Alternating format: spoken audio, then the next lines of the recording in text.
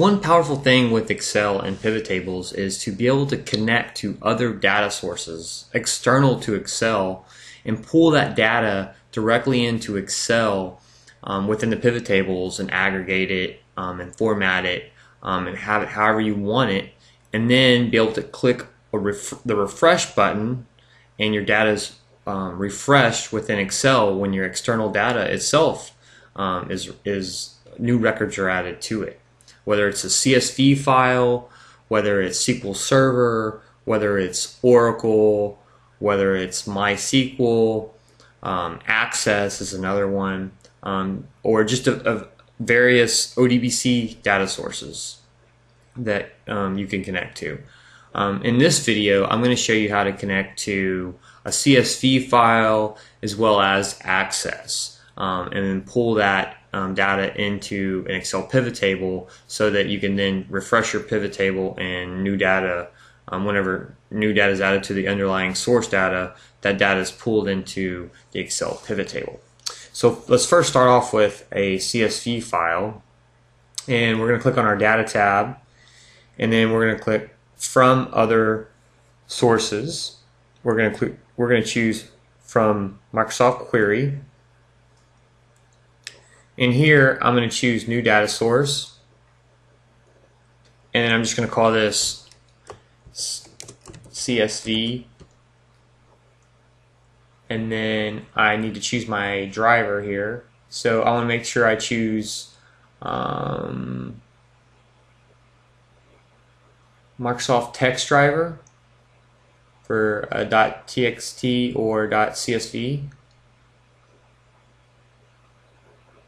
can choose connect here and I can choose my um, my directory. I want this this uh, the C advanced database um, C advanced C advanced underscore external data directory. That's where my CSV file is located. And I'll just click OK. Now here's my advanced underscore database.csv file that's in that directory. I'll click OK again. And now I can choose that data source I just created. I'll click OK.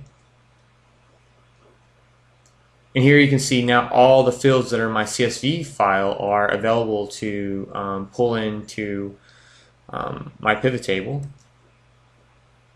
I'll click Next. And I can do a variety of things. I could um, filter on specific columns or whatever I want to do, but I'm not going to do that in here because I can I can do that in my pivot table itself. I can sort. And now um, I'm going to go ahead and return the data directly to Microsoft Excel.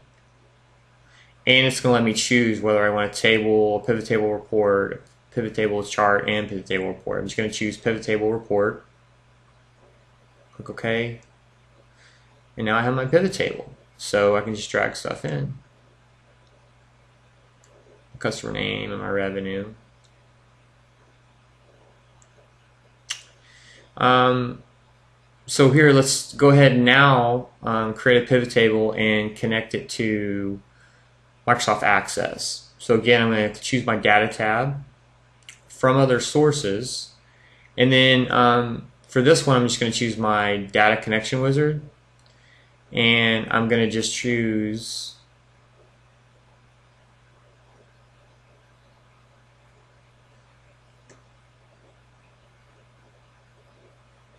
ODBC DSN. Sorry, my ODBC DSN, and then I'm going to choose Microsoft Access Database. And it's the same thing where I'm going to go to the directory where my Microsoft Access database is located choose that database, the .mdb file, click OK, and then you can choose the table um, that you want to connect to. I only have one table in my database that has my data.